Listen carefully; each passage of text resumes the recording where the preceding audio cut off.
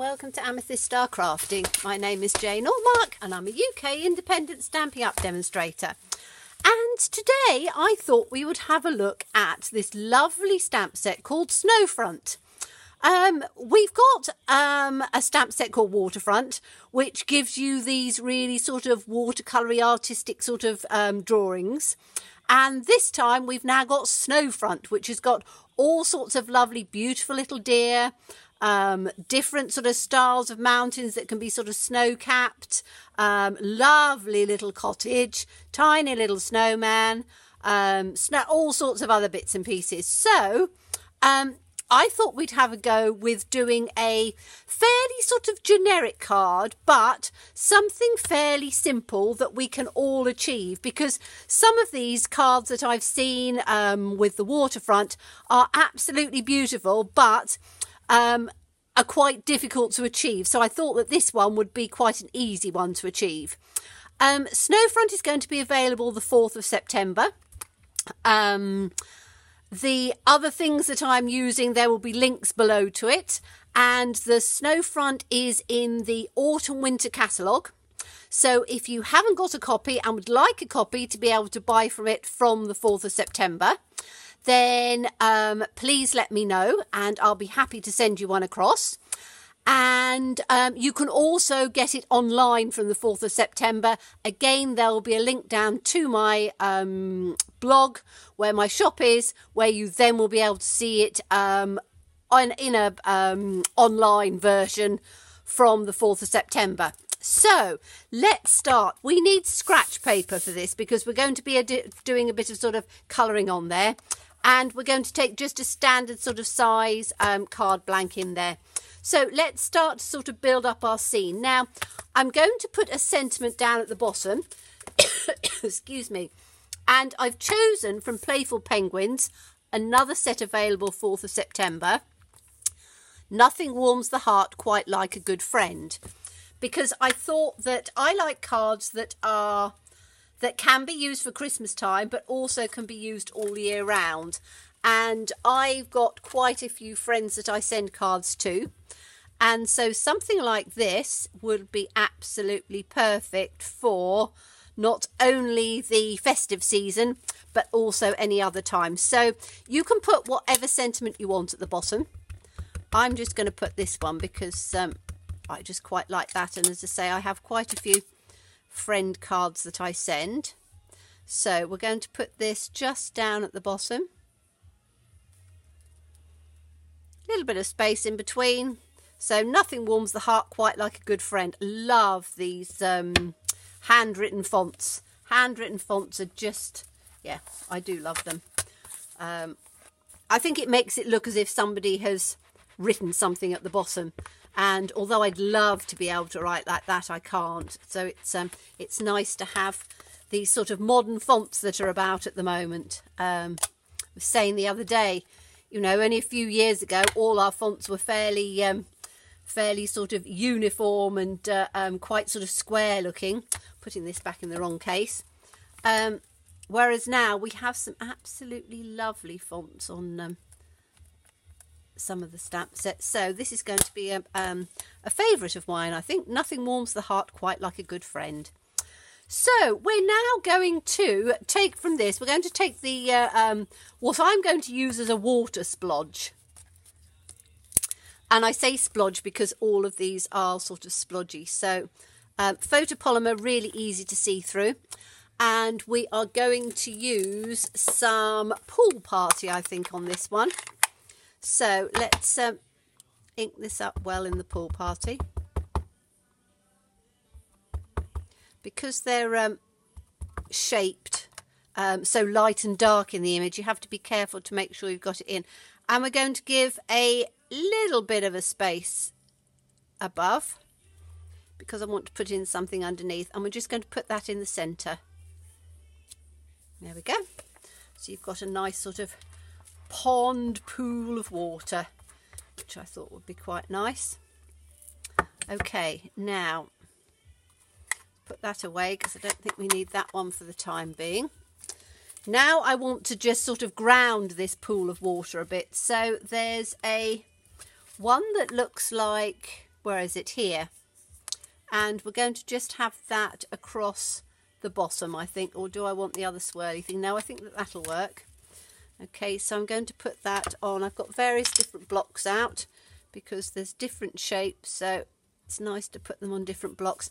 And I don't want that to be overly dark so and it's going to be sort of ground. Um, I think I might have that in. Let's do it in smoky slate shall we? Because that will sort of tone it in a little bit I think. I think I think okay let's just see how dark that's going to come out. No that's going to be perfect. I want it more as sort of a shadow thing. So this we're going to try and take it just sort of down on the side and then into that pond. Just like that. That's a little bit high but never mind. We can sort of alter that, bring that one down a bit. That's better. And then we're just going to take it into the centre. Down like that. The nice thing with this stamp is that you can, that's better. Bring that down a little bit like that. Okay, so we've got it sort of um, not not up in the air as it were with just sort of a little bit of detail at the bottom and the smoky the smoky slate is quite nice because it's um, fairly subtle because I didn't want anything sort of too much on there um, okay so now we need some greens. I'm going to choose Mossy Meadow which is quite a nice dark green. And um, oh no first of all I'm going to put my deer in. There's two lovely little deer. So we're going to have those in. And the nice thing is that all of these fit on the little A block, which is quite nice. And the deer I'm going to do in a good black because I want them to stand out and um, they're going to be sort of silhouettes. So let's see if we can get this one. I'm going to have to get my head in a bit because it's very difficult with my lights to see where they're going. So excuse my head if it just bobbed in, but that's where we want the deer. And as I say, I want them in a dark because they're sort of going to be like silhouettes. Um, okay, so put that back there. Now I can get the trees. Now, we have on this one various different tree images. And there's three sizes of fir cones. So we've got, oh, in fact, there's four. One, two, three, four. Four sizes of fir cones. Um, however, I don't want this great big huge one. I just want the three little ones. So we're going to start with the largest of the little ones. And again, they will fit onto the, uh, um, the little A block, which is quite good. And then we're going to get up the mossy meadow. I nearly said old olive, but it's mossy meadow. And we are going to put some trees around. And again, excuse my head if it comes in. Right, we'll have a tree there. And we'll have a tree just going off the edge there. Now, these trees are all going to be full strength because we want them to be in the foreground. So leaving a bit of a space between them. Okay, so we've got four trees round there, and that's with the largest one. Then we're going to take the second size down, or the the third size down, but of the three smally ones, it's there's three of them. I'm doing the second size down, and then this time I'm going to stamp off once and then just put one behind stamp off once and then put one behind.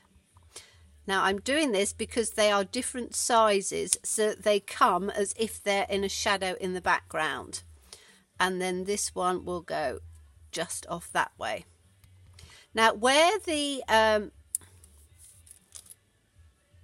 deer are I'm going to put some of those as well by stamping off which is why I chose a dark colour they don't stand out too much and they're as if they're in the background, which I think is quite nice. Then we're going to take the littlest one of these three, So they're the ones at the bottom. Um, so they're this one, this one and this one. So we're now going to take the smallest one and we're going to do exactly the same thing. So we're going to ink it up, stamp it off once, and then we're going to go again into those spaces.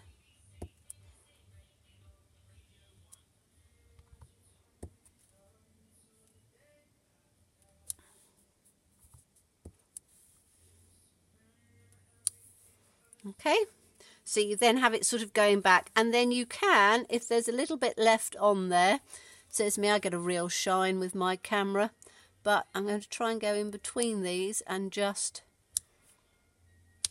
just do a few. Just really far back. Like that. Okay, so we've now got it um, sort of going back into the distance. And that's the easiest way I've found of doing it with three different sizes because then it looks you've got the large, the middling and the small, which makes your eye um, look as if it's going back into the background. So, um, so that gives us the, um, the shape that we want. Now we are going to build up a scene on the top. Now we're not using the stamps for this. Let me just put that ink away for the moment. Um, we are going to use our sponge brayers and we're going to use a little mask because I want to, says me, yes I've got uh, this one here. I want to have a moon coming down through this because I thought it would look quite nice in, in, you know, sort of moonlit sky. So I'm going to take a post-it note and um, I'm going to stick the post-it note onto have I got a scrap of paper? Um, no I'm going to take a bit of copy paper because I've always got that. So I'm just going to take that because if you try and use a punch with straight onto um,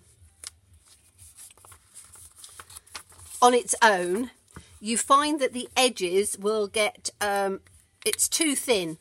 So the edges get all sort of frayed. Whereas if you put it onto a post-it note and then take it off and try and get it as near as you can to where the post-it note comes, you find you get an absolutely perfect little circle.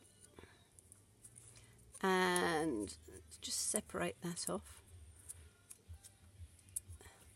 Done so well it's actually stuck to the back. There we go.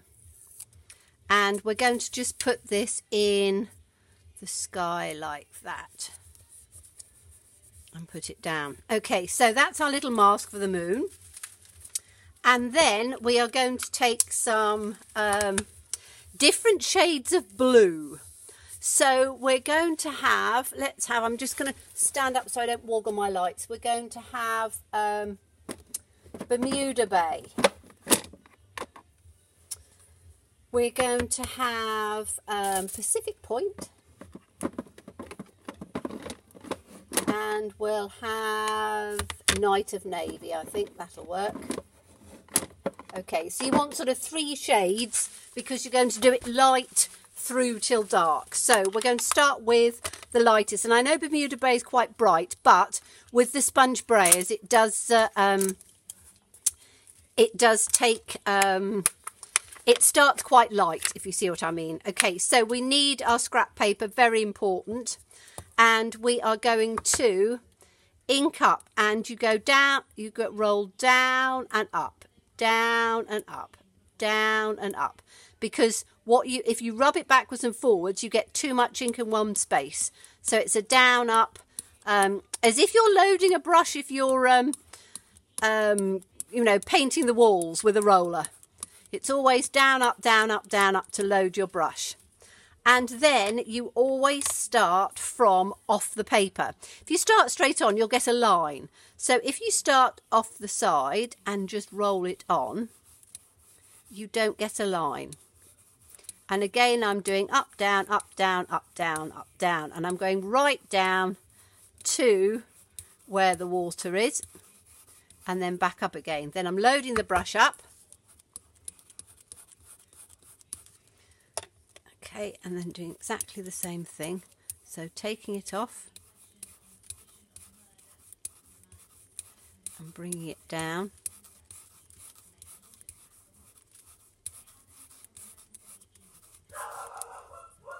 Turning it over a bit because I want it to come evenly.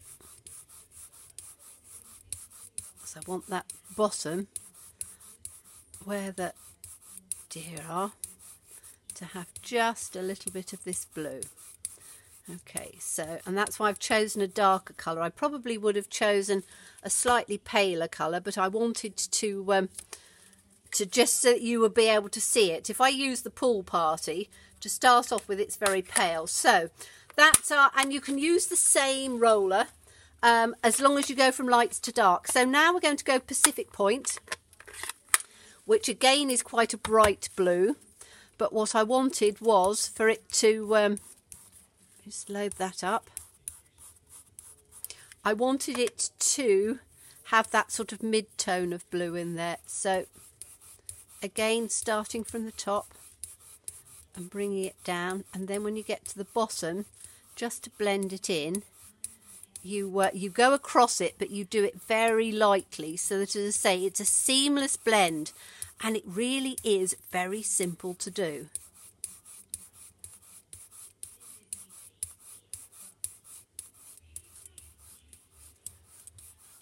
Okay, I think we might, should we have one more on there? Yes, I think so.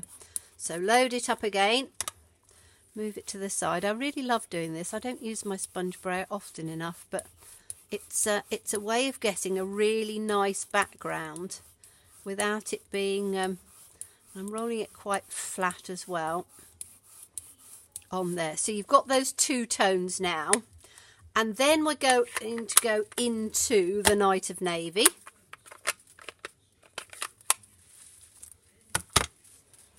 and again load it up so as I say a down up down up down up motion taking it off from the edge.